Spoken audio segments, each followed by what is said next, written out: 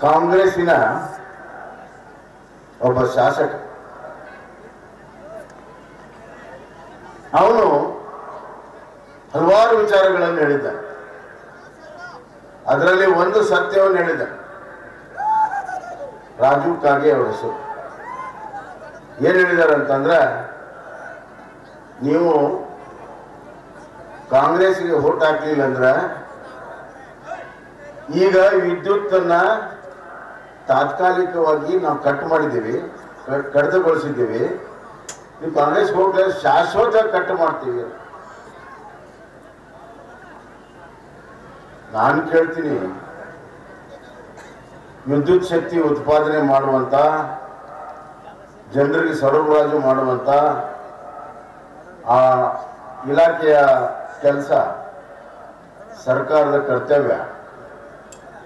ಅದೇನು ಕಾಂಗ್ರೆಸ್ ಅಪೂಲ್ ಮಾಡಿದ ಕರ್ನಾಟಕ ಕರ್ನಾಟಕ ಸರ್ಕಾರ, ಕರ್ನಾಟಕ ಜನತೆಯ ಸರ್ಕಾರ, ಕಾಂಗ್ರೆಸ್ ಸರ್ಕಾರ ಅಲ್ಲ ಅಂತ ತಿಳ್ಕೊಳ್ಳಿ.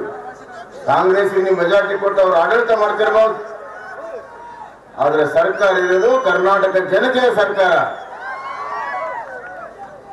ಇನ್ನೊಂದು ಮಾತು ಹೇಳಿದಾರ ಅವರು. ನರೇಂದ್ರ ಮೋದಿಯವರ ಬಗ್ಗೆ, ಅವರ ಆಯುಷ್ಯದ ಬಗ್ಗೆ. ಅದಕ್ಕೆ ಉತ್ತರ ಇಲ್ಲ. ಅದು ಅವರ ಮನಸ್ಥಿತಿ ತೋರಿಸ್ತದೆ. ಅವ್ರೇನು ಶಾಶ್ವತವಾಗಿ ಈ ಭೂಮಿಗೆ ಇರಾಕ್ ಬಂದಾರ ಅಂತ ಅನಿಸ್ತದೆ. ಇನ್ನೊಬ್ಬರ ಸಾವಿನ ಬಗ್ಗೆ ಮಾತನಾಡುವಂತ ಆ ವ್ಯಕ್ತಿ ಏನ್ ಭೂಮಿ ಮೇಲೆ ಶಾಶ್ವತ ಇರ್ತಾರ ಅವರು. ಒಂದು ಮಾತನ್ನ ತಿಳ್ಕೊಳ್ಳಿ, ನರೇಂದ್ರ ಮೋದಿಯವ್ರಿಗೆ ನೀವು ಎಷ್ಟು ಅಪಮಾನ ಮಾಡ್ಬೇಕಂತೀರಿ, ಟೀಕೆ ಮಾಡ್ಬೇಕಂತೀರಿ, ಅಷ್ಟು ಎತ್ತರಕ್ಕೆ ನರೇಂದ್ರ ಮೋದಿಯವರು ಬೆಳಿತಾರೆ. ಆದ್ರಿಂದ ಅವರ ಹೇಳಿಕೆಯಿಂದ ನರೇಂದ್ರ ಮೋದಿಯವರ ಜನಪ್ರೀತಿ ಹೆಚ್ಚಾಗಿದೆ. ಕರ್ನಾಟಕದಲ್ಲಿ ಇಪ್ಪತ್ತೆಂಟಕ್ಕೆ ಇಪ್ಪತ್ತೆಂಟು ಸ್ಥಾನ ಬಿಜೆಪಿ ಗೆಲ್ಲಲಿ. ಬಂಧುಗಳೇ, ರಾಹುಲ್ ಗಾಂಧಿ ಹೆಸರು ಕೇಳಿರಿ. ಕೇಳಿರಿ ಯಾರವರು? ಯಾರವರು?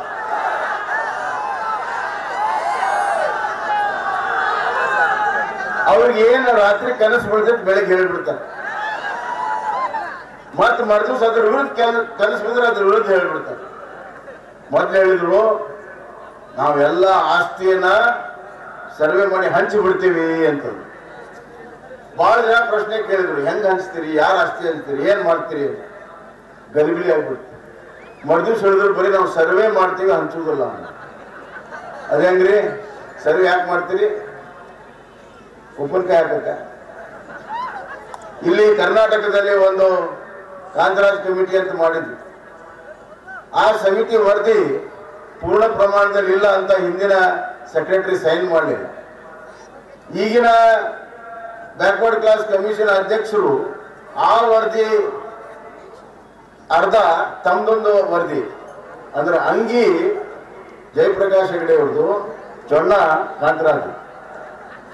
ಇಂಥ ವರದಿನ ಏನ್ ತರ ತುರಿ ತಗೊಂಡ್ರು? ಹಿಂದುಳು ವರ್ಗದವ್ರಿಗೆ ನ್ಯಾಯ ಕೊಡ್ತೀವಿ ನ್ಯಾಯ ಕೊಡ್ತೀವಿ. ಮೂರು ತಿಂಗಳಾದ ವರದಿ ಬಂದು. ಮುಚ್ಚಿಟ್ಕೊಂಡ್ಬಿಟ್ಟಾರೆ ಕಾಂಗ್ರೆಸ್ನವ್ರು. ಯಾಕೆ? ಯಾಕೆ ಬಹಿರಂಗ ಮಾಡಿ? ಆ ವರದಿಯಲ್ಲಿ ಏನಿದೆ? ಯಾಕೆ ಬಹಿರಂಗ ಮಾಡೋದಿಲ್ಲ ನೀವು? ಬ್ಯಾಕ್ವರ್ಡ್ ಕ್ಲಾಸ್ ಜನಕ್ಕೆ ಹಿಂದುಳಿದ ಜನಕ್ಕೆ ಮೂಗಿಗೆ ತುಪ್ಪ ಹಚ್ಚೋ ಕೆಲಸ ಮಾಡ್ತೀವಿ ಬಂಧುಗಳೇ ಹಿಂದುಳಿದ ವರ್ಗ ದೀನ ದಲಿತರು ಎಚ್ಚೆತ್ತುಕೊಂಡಿದ್ದಾರೆ. S C S T reservation ವರ್ಷದ ಹೋರಾಟ.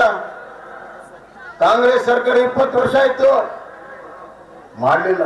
ಏನು ಎಸ್ ಸಿ ಎಸ್ ಟಿ ಬಗ್ಗೆ ಇವರೇ ಗುತ್ತಿಗೆ ತಗೊಂಡೋಗಿ ಮಾತಾಡ್ತಾರೆ. ದೀನ ದಲಿತರು ಅಂಬೇಡ್ಕರ್. ಅಂಬೇಡ್ಕರ್ನ ಸೋಲಿಸಿದ್ದು ಲೋಕಸಭಾ ಚುನಾವಣೆಯಲ್ಲಿ ಕಾಂಗ್ರೆಸ್ ಪಕ್ಷ ನೆನ್ಪಿಡ್ರಿ ಅಂಬೇಡ್ಕರ್ ಸೋಲಿಸಿದ್ದು. ಅವ್ರು ತೀರ್ಕೊಂಡಾಗ ಆರು ಫೀಟ್ ಬೈ ಎರಡು ಫೀಟ್ ಜಮೀನನ್ನ ಜಿಲ್ಲೆಯಲ್ಲಿ ಕೊಡ್ಲಿಲ್ಲ. ಯಾಕೆ? ನೇರು ಪಕ್ಕದಲ್ಲಿ ಅವರು ಸಮಾಧಿ ಬರ್ತದೆ ಅಂತ ಹೇಳಿ. ಅಂಬೇಡ್ಕರ್ನ ಅತ್ಯಂತ ತುಚ್ಛವಾಗಿ ಅವರು ಜೀವಂತ ಇದ್ದಾಗ ಕಂಡಂತ ಕಾಂಗ್ರೆಸ್ ಈಗ ಅದ್ರ ಬಗ್ಗೆ ಬಹಳ ಹೊಗಳ್ತಾರೆ. ಭಾರತ ರತ್ನ ಕೊಡ್ಲಿಲ್ಲ.